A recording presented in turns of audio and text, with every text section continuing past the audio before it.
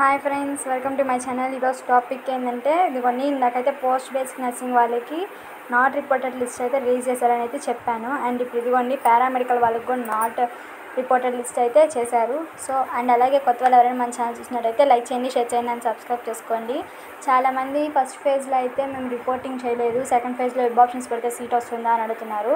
So first ఫేజ్లో మీరు reporting చేసినా చేయకపోయినా మీకైతే సెకండ్ ఫేజ్లో పెట్టుకుంటే సీట్ అయితే వస్తుంది. సో బట్ రిపోర్టింగ్ చేస్తే మీకు ఫస్ట్ ఫేజ్లో సీట్ కూడా క్యాన్సిల్ అవ్వకుండా ఉంటుంది. అండ్ సెకండ్ ఫేజ్లో సీట్ వచ్చినా మీరు ఆ రెండింటిలో దేనికైనా వెళ్ళొచ్చు. ఒకవేళ మాకు ఫస్ట్ ఫేజ్ సీట్ వద్దు సెకండ్ ఫేజ్ అది కావాలి అంటే సెకండ్ ఫేజ్ వచ్చిన దగ్గర మీరైతే ఒరిజినల్ సర్టిఫికేట్స్ ఇస్తే ఫస్ట్ ఫేజ్లో వచ్చిన సీట్ అయితే క్యాన్సిల్ అయిపోతుంది.